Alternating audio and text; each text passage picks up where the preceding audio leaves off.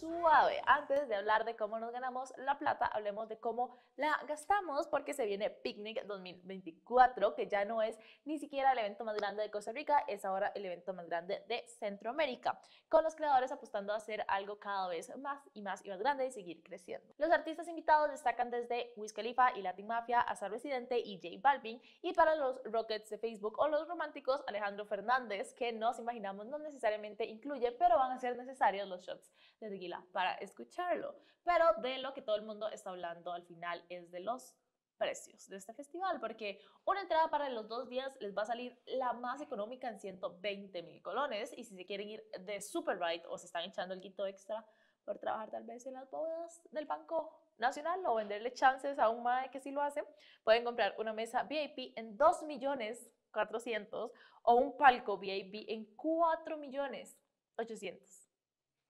Un voltillo nada más. Para los dos días, por lo menos.